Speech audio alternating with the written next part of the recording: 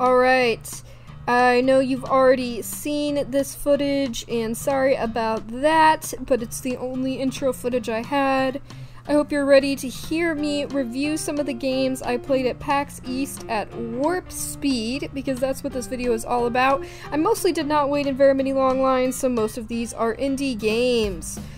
First off, we have Biomutant, which is the biggest name game I've waited for, at least in terms of the presentation. Uh, you can see here the terrible character creation that I ended up doing. This is an action role-playing game. Here you can look a little bit of me running around looking for something to fight. Please realize it's hard to hold a controller and record yourself at the same time. But you know, I did what I can. Clearly, we've got a very polished, modern looking graphics in this game. So that's Biomutant. Next up is Maximum Apocalypse. Maximum Apocalypse was the only board game I played at PAX East, and it was a co op rogue adventure game.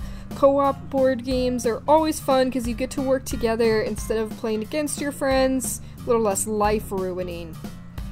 Uh, now we've got Deliver Us the Moon. This is an indie game. It's a solo space adventure. You're not really seeing a lot of the space related aspects in this random clip. I sort of did, but you know, uh, I don't think it's complete yet. But it is on Steam. That's quite a zoom.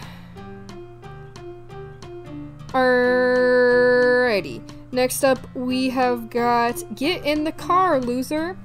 With that Mean Girls reference, you can guess a little bit of what this game might be. It's a traditional RPG style game that's got some fun, funny dialogue, definitely PG 13 rated, and also features some great LGBT representation.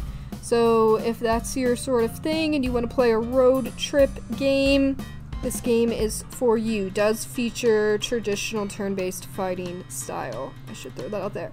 This is Later Daters. This is one of the favorite games I played at PAX East, even though my video representation of it is not great. This is a dating sim set in a retirement home and also has some LGBT representation once again. I obviously love visual novels, so this was really fun to me. The graphics were super classy. You had a cat. Never gonna complain about that. So, you know, definitely check this out. Here's a platformer that I rage quit because I got really confused and I don't remember the name of it, but they were cool, uh, so no hate to them. This is Warsaw, which is a tactical turn-based RPG in a historical setting, specifically World War II. It has hand-painted graphics. Definitely not my sort of thing because I'm not really interested in war games, but I could appreciate this for what it was. I could tell that in the combat, you know, you had a lot of different choices of things you can do because you've got the different classes and abilities, as well as the ability to move where your people stand within a fight. This is Bravery Network Online, which is just a turn based, fun game with some kind of cool graphics here. This uh, game I really enjoyed. I thought it was pretty funny. It's Skydrift Racing, I think.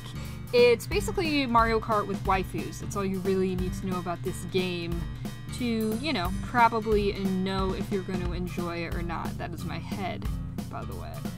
This is Gato Roboto, and as a cat lover, of course I was going to appreciate this. This is a retro style game where you are a cat following instructions from an astronaut to do spacey, sort of spacesuit things.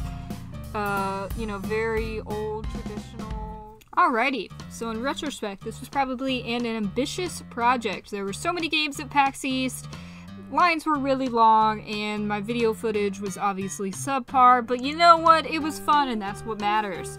So there's a hyper speed look at the games that I demoed at PAX East, and because of the clickbait title, I know I'm planning to give this video. The best game that I played at PAX East was Gensou Skydrift. Why, you may ask? Because, well, I'm a weeb, that's a weeb answer, and it seems like the best option for a meme. Thanks for watching, peace out.